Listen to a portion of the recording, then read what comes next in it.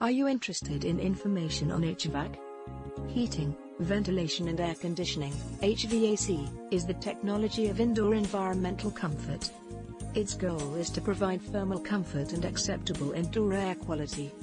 HVAC is an important part of residential structures such as offshore installations, apartment buildings, hotels and senior living facilities, medium to large industrial and office buildings such as skyscrapers and hospitals, onboard vessels, and in marine environments, where safe and healthy building conditions are regulated with respect to temperature and humidity, using fresh air from outdoors.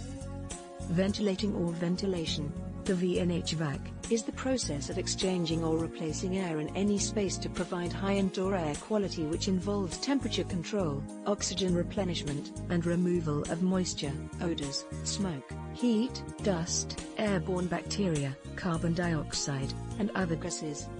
Ventilation removes unpleasant smells and excessive moisture, introduces outside air, keeps interior building air circulating, and prevents stagnation of the interior air.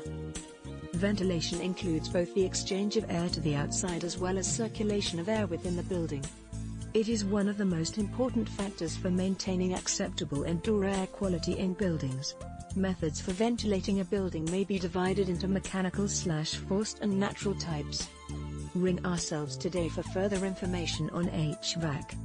On 01224 244300.